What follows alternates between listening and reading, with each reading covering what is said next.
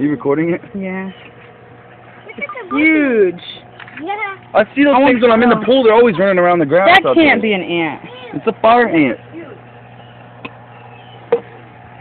That is huge. I'm gonna let him go way out in the.